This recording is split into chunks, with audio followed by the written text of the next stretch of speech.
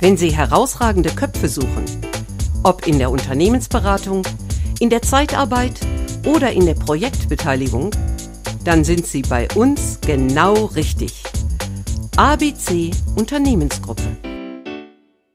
Fünfter Rossetti Fußball Cup der helfenden Handwerker Remscheid e.V. Ein tolles Turnier bei sehr, sehr warmem Wetter und einer der Mitinitiatoren, Thomas Küster, bei mir. Zufrieden? Hundertprozentig. Also wir haben einen super Tag erlebt, wir haben Wahnsinnswetter gehabt, der liebe Gott hat mal Einsehen mit dem Rossetti Cup gehabt. Wir brauchen nicht Wasserball spielen. Wir haben ein tolles Kinderland gehabt. Wir haben, der Volker hat schon vieles erzählt heute im Laufe des Tages. Wir haben ähm, einen super Sandstrand gehabt, der angenommen worden ist. Mallorca, Mallorca war unser Thema. Aber es passt ja vom Wetter her, ne? Ja, ich glaube, Mallorca träumt von den Temperaturen momentan, oder? Genau so ist es. Aber du hast einen besonderen äh, Gast neben uns, denn wir können noch mal zurückgehen zu der Idee, wie der Rossetti Cup überhaupt entstanden ist. Ja, ähm, der Rossetti Cup, die Geschichte, warum der Rossetti Cup entstanden ist, die weiß jeder. Die haben wir hunderttausendmal ja, in den letzten genau. Jahren geredet. Aber mit wem sie entstanden worden ist, da haben wir eigentlich ganz wenig drüber geredet. Und umso mehr freut es mich heute, dass ich ihn als Sieger nach fünf Jahren das erste Mal wieder hier sehen mit kann. Äh, das ist der Salin. Der Salin und ich hatten damals die Idee, ähm, Mensch, wir spielen Fußball und wir wollen das Sache äh, für einen guten Zweck machen.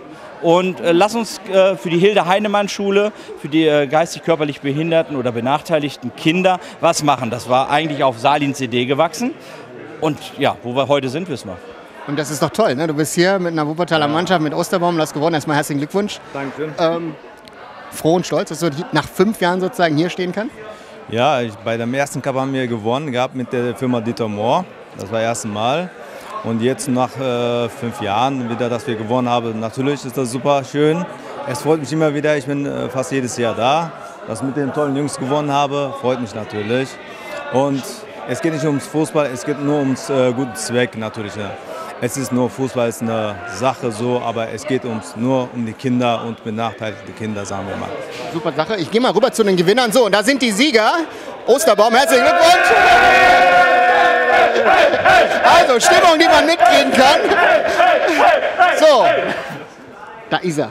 Ja, wurde Zeit. Herzlichen Glückwunsch Vielen an Dank. euch alle, Jungs. Danke. Ähm, es war am Ende eine schwere Geburt mit Elfmeterschießen gegen den Titelverteidiger, aber ihr habt es gerockt. Absolut. Also es war ein sehr schönes und spannendes Finale, denke ich. Und ähm, die zwei, drei Zuschauer, die da waren, haben auf jeden Fall äh, alles schön gesehen. Und äh, ja, wir sind auf jeden Fall froh, dass wir im Endeffekt uns auf den Pokal tragen können. Genau, also euer Name kommt hier dann drauf äh, für das Jahr 2018. Wie schwierig war das denn bei diesem Wetter? Also das ist ja, ja subtropisch, müsste man ja schon sagen. Wetter hat auf jeden Fall schon viel mitgespielt. Auch äh, in der Mittagshitze natürlich ist es nicht äh, so angenehm. Aber dafür, dass es sehr organisiert war und ähm, auch äh, die Getränke schnell kamen, hat sich das auch sehr schön äh, erledigt, sodass wir da wirklich gut gestärkt ins Finale kommen konnten. Dankeschön, Jungs. Nochmal herzlichen Glückwunsch, Osterbaum, für den Sieg. Und wir gehen nochmal weiter zum Volker Friese. Ein erfolgreicher Tag mal wieder für euch, der helfenden Handwerker mit dem Rossetti Fußball Cup. Äh, super Gewinner. Ähm, so will man es haben, ne?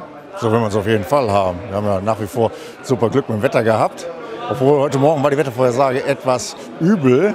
Ja, und wir haben wirklich stündlich auf die Uhr geguckt, zieht das Gewitter vorbei, kommt es noch oder regnet es auch nicht mehr. Oh, haben Glück gehabt. Also. Und das Schöne ist, wir sind ja wieder im Zelt. Äh, momentan sind ein paar Leute draußen, aber die kommen gleich wieder mit äh, der Dani, die hier einen tollen Auftritt immer wieder hinlegt.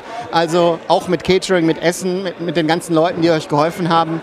Das Ganze wieder ein großer Erfolg. Auf jeden Fall. Das besagen auch die Besucherzahlen. Heute war der Platz ziemlich voll.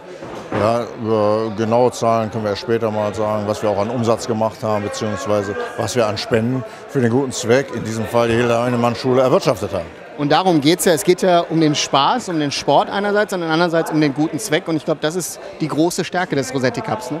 Das ist von Anfang an die große Stärke gewesen, ja, dass wir uns immer ein Spendenziel ausgesucht haben ja, und auch die Spendenbegünstigten immer sehr dankbar und aufgeschlossen dem gegenüber waren. Auch die Hilde Heinemann Schule vertreten durch Herrn Busch. Der hat heute sogar mitgeholfen, ja, wie er gesehen hat. Der Andrang wurde zu groß ja, und ist dann eingesprungen. Ganz, ganz hervorragend, muss man sagen. Danke. Dankeschön, Volker, für dieses Gespräch. Mal wieder ein großer Erfolg, der fünfte Rossetti Fußball Cup. Und im nächsten Jahr, da geht es dann wieder weiter und Osterbaum wird dann seinen Titel verteidigen.